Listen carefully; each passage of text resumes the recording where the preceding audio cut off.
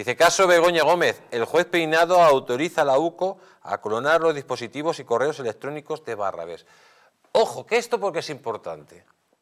Porque Barrabés, que entraba por Moncloa como Pedro por su casa, y nunca mejor dicho, pues se supone que tuvo conversaciones con Begoña Gómez, ya que era el tipo que le preparó el máster y ya que era, digamos, el referente de ella para tener eh, que le diera la cátedra. Y ojo que Barrabés luego, por otro lado, recibe 20 millones de euros en unos contratos eh, públicos y en unos lotes muy dudosos que también eh, están siendo investigados. Si después de salir las conversaciones que pueden salir en breve a la prensa del PEN de, Ábalos y Sánchez, esas conversaciones que los involucran presuntamente en el caso del SIGEI y en el rescate de Europa, si salen las conversaciones atención, las conversaciones de Barrabés con Begoña y Pedro Sánchez, esto puede ser la bomba nuclear que acabe con Moncloa, señor Vera. sobre todo ahí porque usted recordará que cuando el juez Peinado va a Moncloa a tomar declaración a Sánchez, como testigo, que no quiso mm, declarar para no perjudicar a su mujer, que bueno, pues eh, ya explicó el juez que efectivamente estaba en su derecho, ¿no? Pero le preguntó si conocía a Barrabés y él dijo que no que si, que si tenía, había tenido algún tipo de relación con Barrabés.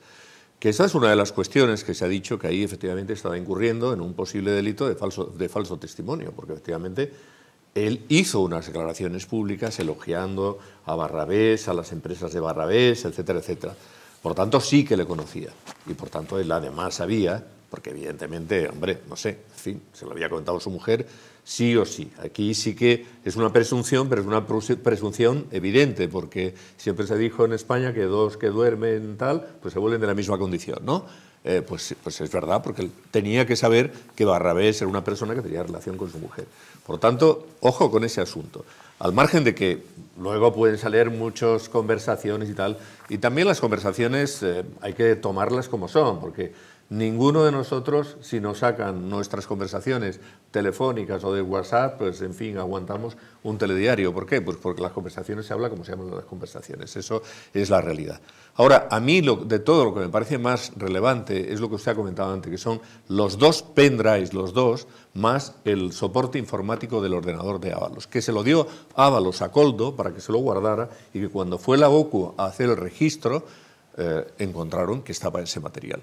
Y le dijo Coldo, le dijo Coldo a los guardias civiles de la UCO, esto es muy gordo y no lo vais a poder desencriptar de ninguna manera. Y llevan desde entonces tratando de desencriptarlo y parece que ya lo habrían hecho.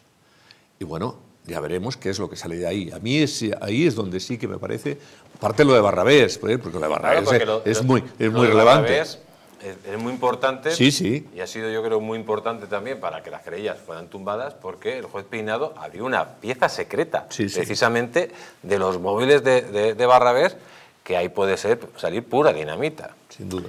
Yo eh, tengo una teoría un tanto, en fin, eh, eh, tangencial a, a, todas estas declaraciones que voy oyendo, pero venía reflexionando, cuando venía al plato decía, vamos a ver, cuando tú no quieres decirle a alguien que encuentre algo, no, ni siquiera lo mencionas.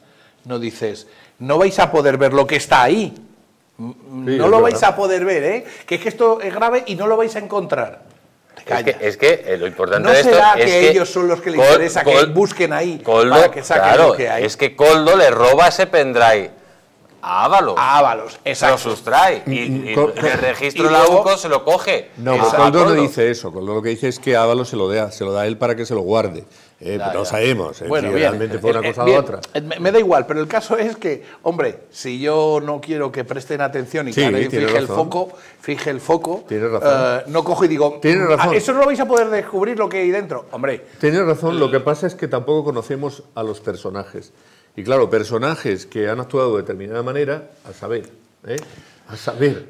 Yo, mira, eh, claro, eh, no conoce, es totalmente cierto lo que dices, pero hay, hay cosas cuando la UCO ya te dice, porque ya lo ha publicado un informe, que han encontrado, no creo que son alrededor de 80 millones de euros en bancos fuera de este señor, este señor se lleva el 4%.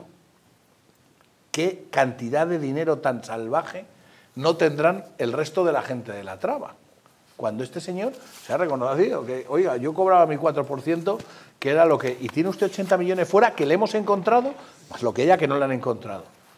Claro, mm, yo creo que aquí eh, se, se está jugando una cantidad de dinero salvaje y además repartido entre muchísima gente y entre muchísima gente de mucho dinero. Y en esos pendrive y en esas conversaciones estoy absolutamente convencido que, eh, bueno, yo creo que no tiene vergüenza el presidente del gobierno ni a los que lo rodean, que están todos imputados.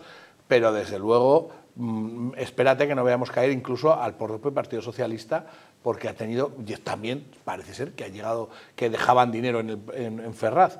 Eh, vamos a ver si no sabemos a cuántos, a quién se lo daba, cómo se lo daba y quién cogía de eso no vaya a ser que no solo sean los que sabemos ahora y están imputados, sino mucho más, mucho más del partido.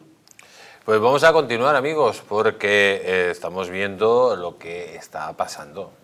Y atención, que lo de Begoña también es la punta del iceberg. Porque lo de Begoña tiene mucho que ver con eh, lo que le puede caer a Pedro Sánchez. De hecho, lo decíamos aquí, Pedro Sánchez ha ido arrastrando a Begoña por el fango de, los juzgados, por el fango de los medios de comunicación, ha sido él el que la ha arrastrado precisamente para intentar ocultarse detrás de ella. Pero claro, lo de ella no tiene, no tiene ya nombre, están saliendo ya muchísimas pruebas y lo de él va a ser exactamente igual según las informaciones que llegan.